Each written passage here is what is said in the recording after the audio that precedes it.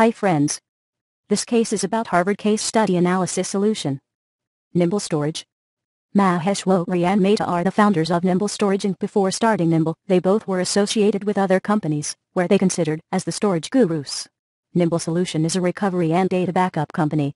Moreover, Maheshwari was a person who architected the key parts of the data domain file system. On the other hand, the company was successful for 10 years in the storage players market in which it competed against its competitors which include NetApp and EMC. Thanks for watching this video.